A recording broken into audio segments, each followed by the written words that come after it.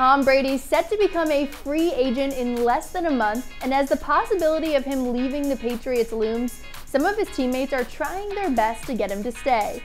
Fellow Michigan alum and current teammate Chase Winovich shared an Instagram photo of the two of them and writes, quote, to stay or to stay, hashtag please dad, hashtag not allowed to leave, hashtag Shakespeare.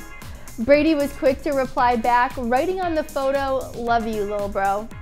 Some of their other teammates made sure to voice their desire for the quarterback to stay too, with Joejuan Williams chiming in with a comment of his own saying, fact.